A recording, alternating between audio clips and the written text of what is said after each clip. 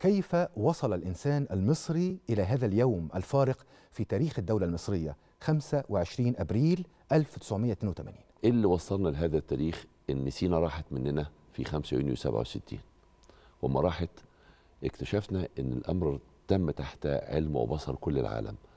اللي انضحك عليهم بس العرب والمصريين. هم اللي انضحك عليهم وسينا اتسرقت.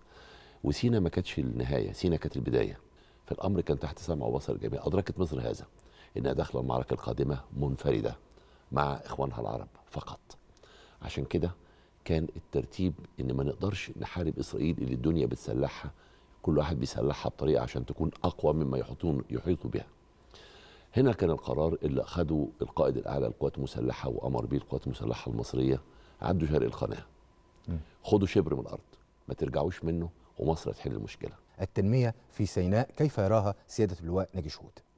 أنا محتاج من الجيل ده اللي عاصر هذه المشاكل وعاصر أزمات 2011 حتى هذا اليوم يحط لي خريطة شكل مصر كمان 100 سنة و200 سنة. شكل مصر سكانيا عاداتهم هيبقى قد إيه؟ اقتصاديا زراعيا صناعيا.